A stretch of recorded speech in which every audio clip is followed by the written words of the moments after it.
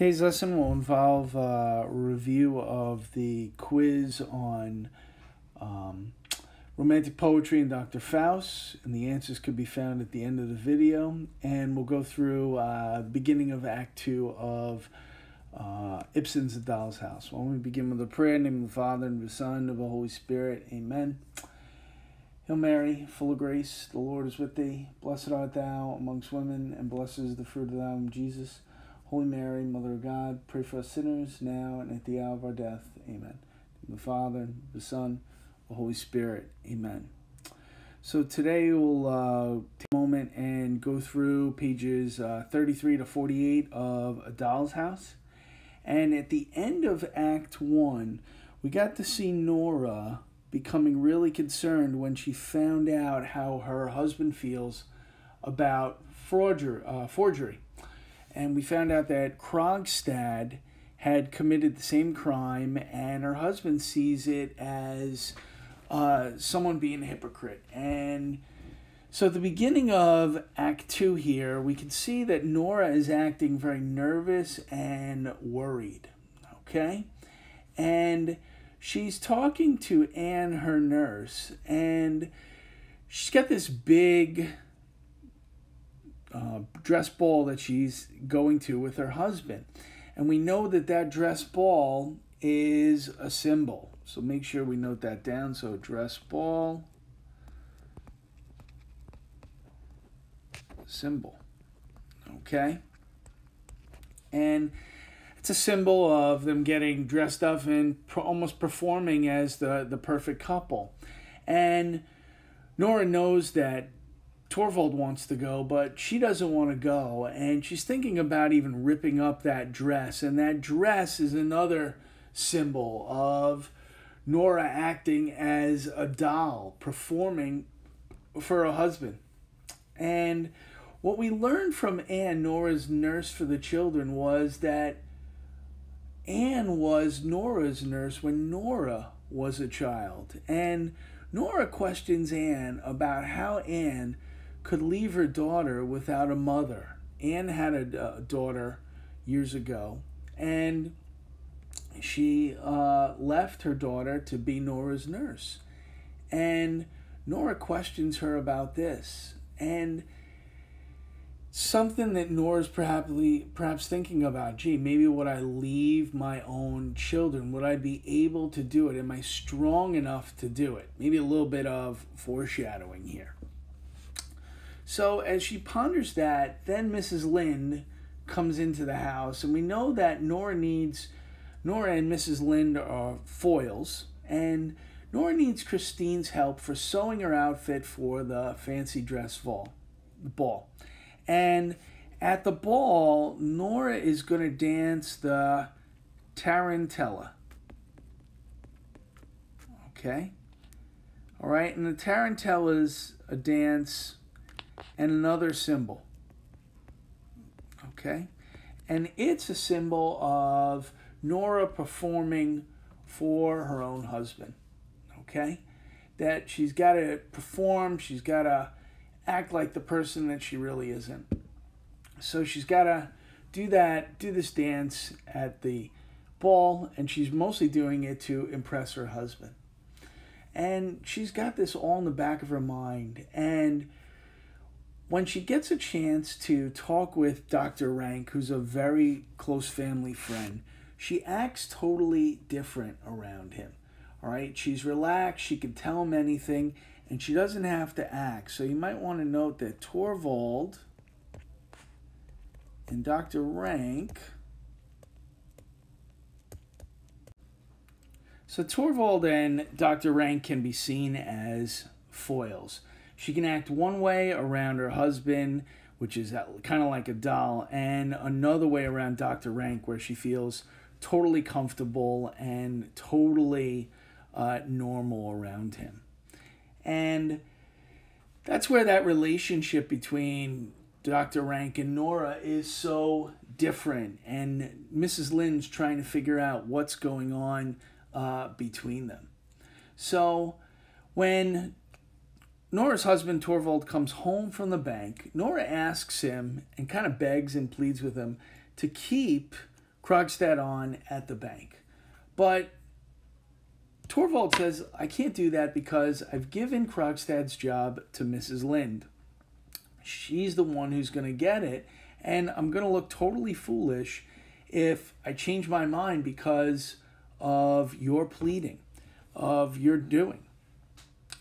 And Nora keeps begging and begging, and she says, Look, he's going to expose something terribly wrong about us. We're going to get in a lot of, we'll, we'll get a lot of bad publicity. And so Torvald brings up something that happened to Nora's father in the past. That Nora's father was accused of some illegal activities, and his activities were exposed in the newspapers. And Torvald was able to help Nora's father, and Nora was so ever grateful for it. And Torvald said, Look, your father acted one way, I'm totally different, and the same thing is not going to happen. So Nora is keeping this secret, this forgery from her husband, and it's really affecting their marriage and their lives, so much so that she still begs him to keep on Krogstad at the bank.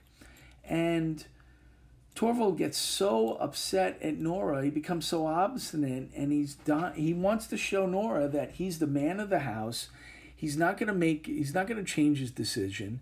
And he's going to, instead of keeping on Krogstad a little bit longer, he's going to fire Krogstad immediately. So he's not going to change his decision.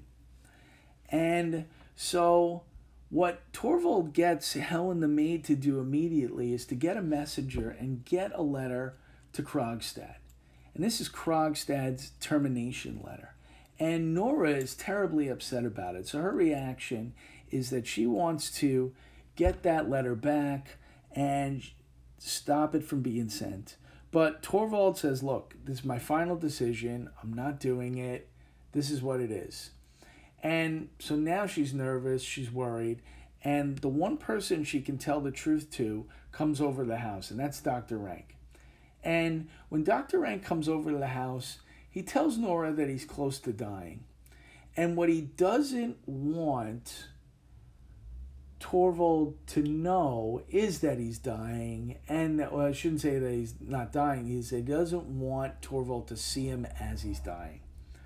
And Nora, Tor, uh, Dr. Rank says to Nora, Look, when I'm close to dying, you're going to get a calling card from me and it's going to be a calling card with a black cross on it, another symbol. And it's the symbol of Dr. Rank's impending death. And Dr. Rank is another person who is suffering from the sins of his parents. Nora's inherited her wild uh, spending habits from her father, and Dr. Rank inherited this disease uh, from his father's uh, wild living when he was younger. And Nora is also another person who is suffering. And she's suffering in living in a marriage where she can't be herself or she can't be truthful. And we certainly see the way she acts around her husband Torvald and the way she acts around Dr. Rank. She feels she can tell Dr. Rank anything and she can be totally complete and completely honest with him. And Dr. Rank tells Nora that he loves her and respects her for who she is. Now, this isn't some kind of romantic relationship that Dr. Rank wants to have with Nora. It's just with all your faults, with all your weaknesses, I love you for who you are. And this is probably a way that Ibsen is saying to readers, to viewers of the play, that you should love a person for who he or she really is and not who you want that person to be. And when he tells her that, the maid Helen brings in an important symbol, and that symbol is a lamp. Okay? And that lamp is another symbol that's shedding light on the truth.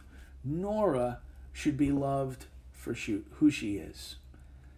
And Nora is about to tell the truth to Dr. Rank about all that's going on with the loan, with the forgery, everything, when Helen the maid comes in to tell her that Krogstad has come over to the house. So that's the end of Act Two. The homework assignment that I had uh, due for Monday, we're going to push it to Tuesday, give everybody the weekend off. Okay? And after this, you can see I have the answers to the um, quiz that was on Dr. Faust and romantic poetry. If you have any questions on any of the answers whatsoever, by all means, um, come and see me about it. Again, uh, come and see. You can just email me about them. And um, have a nice weekend. So there's no homework due Monday. Everything will just push back to uh, to Tuesday. All right. So I'll change that in Schoology. If you have time and you want to do it, go ahead. Um, but if not, don't worry about it. So have a nice weekend, and most importantly, uh, don't get arrested.